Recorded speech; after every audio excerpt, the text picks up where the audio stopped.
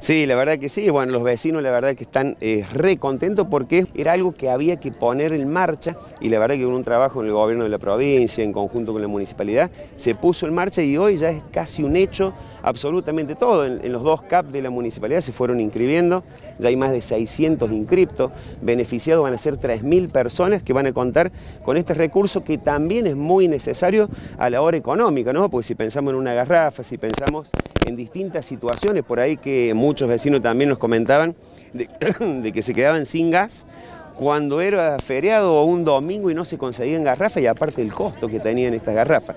Así que la verdad muy muy contento, un trabajo espectacular que lo venimos siguiendo desde ya hace bastantes días ¿no? en cada una etapa de la obra y la verdad que ya prender la llama, ya tener el gas en el barrio, ya la verdad que es maravilloso para ellos también.